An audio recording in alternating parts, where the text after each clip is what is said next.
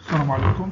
J'ai l'honneur de présenter mon travail intitulé Étude des minces euh, Z-anneaux et de nanocomposés Z-anneaux préparés avec succès par la méthode Solgel.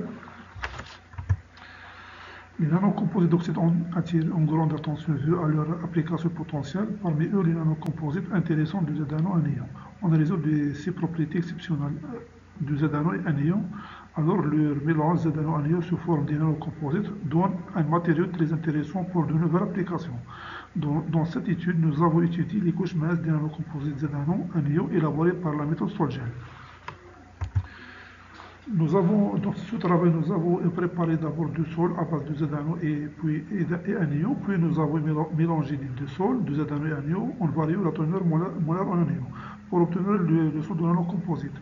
Puis les, substrats ont été, en verre ont été plongés dans le, sol de Z-anneau en anion, puis retenus à une vitesse constante. Après chaque tirage, le film a été séché à 100 degrés Celsius pendant 20 minutes.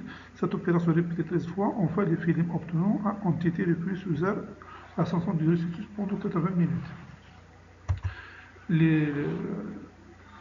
Les, films obtenus, nous avons caractérisé les films obtenus euh, par différentes techniques, à savoir l'analyse micro-raman, la microscopie électronique à balayage et la spectroscopie euh, visible.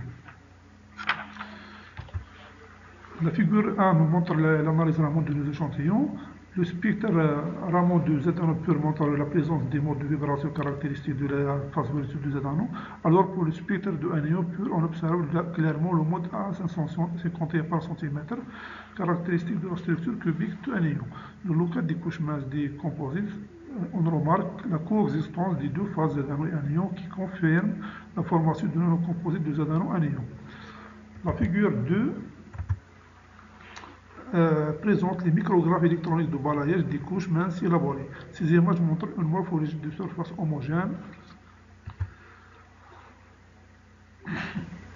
homogène uniforme, dense et formée par une structure granulaire avec la présence des, pores. La caractérisation optique sont basées sur la mesure de, la transmittance optique réalisée à l'aide de la spectroscopie visible la figure 3 montre que les spectres de transmission sont composés essentiellement de deux régions. Une région en grande transmission euh, transmettant située entre 400 et 800 nanomètres de la gamme visible qui varie entre 70 et 90% euh, pour l'ensemble des échantillons. Alors pour la deuxième région, caractérisée par une forte absorption euh, située à un lambda inférieur à 400 nanomètres. Cette absorption est due à la transition électronique interbande. Le gap optique le gap euh, optique est déterminé en appliquant la méthode de top, comme montre la figure 4. Les, valeurs des gaps optiques obtenues sont estimées entre 3,14 et 3,27 électronvolts pour le talon et entre 3,63 et 3,97 électronvolts pour un Merci pour votre attention.